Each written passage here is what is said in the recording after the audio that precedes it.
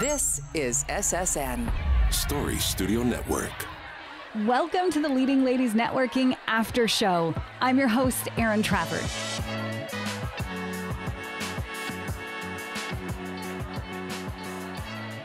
For this first ever behind the scenes drop, we're going to take you directly to the source of the magic.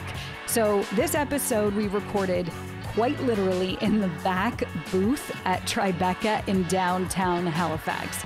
So you're going to hear all of the sounds of a room full of more than 100 powerful women who have gathered to celebrate themselves, to celebrate each other, and to network.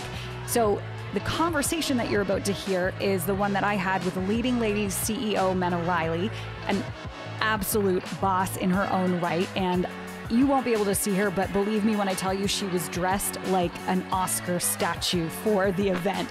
Gorgeous gold everywhere, and it truly was a celebration of Menna's secret sauce and her ability to bring so many amazing women into one space all at the same time. The other voice you are going to hear is another absolute boss woman, Nicole Myles Brook. Now, Nicole wears many, many hats, fashionable, I might add, uh, but you may know her as the president at Big Eric's Inc., and she's also a limited partner in the Women's Equity Lab. It was recently started up about a year ago, and it's the only pan Atlantic angel fund investing across all four Atlantic Canadian provinces. So, no big deal, right? and we had a lot of fun having this introductory conversation. I hope you enjoy it. We talk about Menna's Milestone 50th event, the energy, and the why behind networking. Holy, holy, welcome in. This is the very first leading ladies networking after show during the show. What? We're all in the show right now. And I'm joined by Menna Riley, who is a walking, talking Oscar statue right now. She does look like an award. I feel like one right I now. I want to hold you and make an acceptance speech. And Nicole Myles Brook is joining us here today. And I thought that having the two of you guys here for this premier conversation made the most sense because you two kind of go together like peas and carrots. Aw, Right? that is That's the so best sweet. compliment you could give me. So I know that we're here at the event and we want to get out there too. How many women are in this room right now with us? there are a hundred people in this room right now. Right, which is why it sounds like there are a hundred Yes. people in this room right It now. It sounds like there's a hundred people on this podcast. So, Nicole, I'm going to ask you a question because you you are a leading lady, and I think part of Menna's magic, if I can call it that, in putting together 50 events, bringing together thousands of connections, is this idea of leadership. Yes. Tell me what that like. Where's the leadership in this room? What it, when I say women's leadership, what does that mean to you? I think it can mean so many different things depending on who you're talking about. But I think the magic that Menna has is that she helps everyone find what that means for them. I think in times in the past when we thought of leaders, we thought of probably one scenario of what that looked like people in positions of power, people with lots of money, people with fancy titles, people with et cetera, et cetera. Menna's helped me and helped lots of other women who I know and would attest to the fact find their own power, regardless of all those things that I just described, regardless of how many people they have reporting to them, how many dollars they have in the bank account, and, you know, regardless of their title. And I think that's why so many people are magnetically attracted to this event because everybody feels like they belong here. Ev- what? ha- Menna's like done. Podcast over. This is all we need to talk about. um, how does that make you feel? Like, respond to that. That makes me so proud. And it does make me feel like a magical unicorn, to be honest. Um, you know, demonstrating something that you don't necessarily see, knowing that, for example, the Wing Women program, Nicole and I dreamed that up one day. So, tell, so tell, uh, Yeah, not to I'm interrupt, but tell me about that. What, what is that? What, how do I be a wing woman? So the Wing Woman program is really like we have this event is just bingo. It's perfect. It's been curated to perfection in my mind because this is what we experience. But we were talking about how to add more value without adding another thing. And so we came up with this idea, and really, it has solidified the vibe in the room. So I've heard women come up to me and say, I was really excited to be a wing woman, but I didn't know how it would transform the way that I network for the rest of my life. Because before I was in the room to meet people, and this time when I was a wing woman, I was asked to help introduce and connect other people, and I had a way better experience doing that. And then they were like, I'm doing that forever. That's my new thing. And every single time we have a wing woman here, they have that same experience. And I feel like the whole room feels it. So it sets that bar way higher for connections to happen, for people to feel welcomed, regardless if they're an introvert or an extrovert, or title or experience or age or background or anything. And I think, you know, one of the reasons why it was cultivated was also responding to attendees or prospective attendees who bought tickets and then chickened out at the last moment because they felt like, how am I going to, that imposter syndrome, how am I going to walk into a room full of female leaders? How am mm-hmm. I going to feel when I don't feel like I'm going to belong if I don't have someone to c- come with me, if I'm new to the city, etc. And we said, how do we make this a safety feature, Yeah. a parachute? You know, how do we put the safety net in the networking event so that people feel instant connections to at least four people in the room besides the person that's hosting?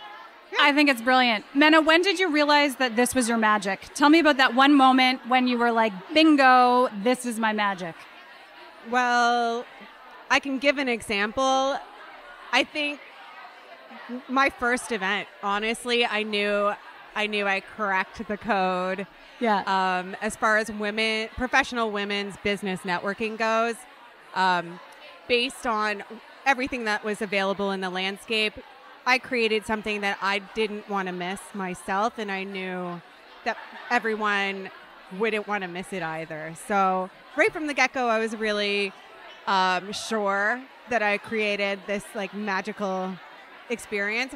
But uh, kind of back to what Nicole said, I had a woman come up. Uh, it's one of my favorite little, you know, stories. A woman came up to me and said, "I bought tickets to the last six events and chickened out for everyone because I'm such an introvert and I have never done this before." And then I, I finally made myself come to this event, and I'm so mad I chickened out on the other ones. mm-hmm. So th- that's when I know that's undeniable um, that I've created this space, this networking experience for women that they can come in and feel safe. Like Nicole said, uh, that's a very important combina- you know, uh, ingredient in the whole recipe of, you know, you feel safe, you feel uplifted, you feel seen. That is just pure gold to feel seen in a room with your peers. Yeah. And to also grow your business. Like, come on. Make, Make some money. money. I was definitely running tape on you when you were like, there is millions of dollars in this room. I think we as women get, and I know, Nicole, you have something to say about this. we are underestimated for our actual value revenue wise, our financial capacity to One drive actual revenue growth. I would slap the table, but I know that that'll be a problem for. Um, just just warn me before you do it. I won't do it, but I'm like air hands. You know, people can't see us. A hundred percent. Women are undervalued. Women, and we do it to ourselves. But it's it's because the stories that we have been told about where we belong and how we're supposed to show up. And if you don't fit in that box, you think you're you're breaking something. You're breaking a rule. Well, I mean, I think Menna has become a demonstration, and this event has become a demonstration that sometimes breaking the mold is where the best light comes in and where the magic happens. And I think she does a good gut check. And I- can say I've been a soundboard for Menna for many, many years, and I've been so privileged to be in that position. And she's constantly gut checking. Wait, am I adding this because it feels like I have to, or am I adding this because I would not want to go to an event without this? am I adding this because it's important for a sponsor or am I adding this because it's important for an attendee? And and she's constantly analyzing how it's going to affect the vibe in the room, how it's going to have people leave the room feeling because we described the feeling of leaving like you're floating on air when you leave these events and that's what we want people to have. Like they've had some sort of catalyst event happening every time they're coming here and that's what brings them coming back for more and bringing their friends. And doing the podcast because now they're going to get to hear all this extra insight and like I don't know. I feel like this is like a hype show. It's an I after show, but it's like a hype show. So what haven't we talked about, Menna? Because this is the first of a bunch of shows we're gonna do. So this is really our intro to Yeah. all of this. I guess you know what? I have a question for you. What do you want to get out of this podcast? Like when somebody listens to this down the line, do you want them to reach out, buy a ticket, like uplift another woman? What do we want to do? Like I think uh, I definitely want them to look into leading ladies networking. Yeah. Um, because we're growing not just in Nova Scotia, very proudly grown in Nova Scotia, but we're expanding. Um, and if they're in a place that geographically they can't access maybe an event like this, that they look for it, a way to network with other women just the way we described because it's priceless. It just gives you confidence to know. And I know Nicole and I um, alluded to this earlier just having your business besties. There's nothing like it, especially as an entrepreneur, but as a woman in business. you have people sure. speaking to you in rooms you're not in you have people Yeah. inviting you into a table where you don't know that those conversations are happening i was having a conversation earlier tonight where someone was saying the best jobs are the ones that are not posted and i said that's the biggest demonstration Ah. of why a network is so important because Yes. you want someone to hear about i have a critical need in my business i need a consultant for this i need and have someone say i know just the person for you let me get you connected Yes. that's the that's the that's the leapfrog. That's the ripple effect. That's the pay it forward. Yeah.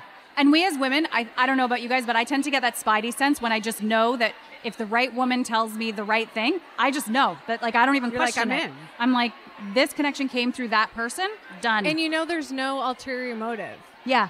It's not going to make that person that's giving you the introduction any money, Yep. Right.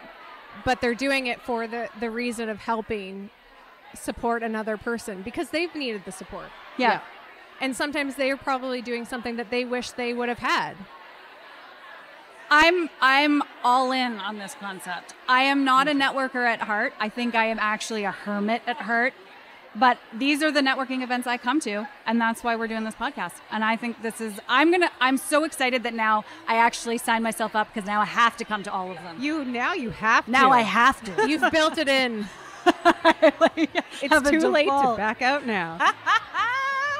All right. Well, for the leading ladies networking after show, I'm your host, Erin Trafford from Story Studio Network. Thanks everyone for tuning in. Remember, subscribe, share, tag, do all those things that you know how to do. All the stuff is in the show notes. And we're going to see you right back here on the feed, social media, in the next two or three months. Thank you, Erin. Thank you, Erin. Thanks, ladies. Go be fabulous. You both look amazing. Done and dusted. No, you look amazing. You look amazing. No, you. No, you. No, you. No, you. No, you. Thanks again for listening, and don't forget to share and subscribe, of course, wherever you get your podcasts. You know what to do. Also, if you'd like to be featured on the after show, then check out the show notes for how to get in touch with either Menna or myself. The other way you can do that is just make sure you're following Leading Ladies over on social and DM either Menna or myself. Again, all those links in the show notes where you'd expect to find them. Again, thanks for listening. For the whole team here at Story Studio Network, I'm Erin Trafford. Until next time. We know podcasts. Story Studio Network.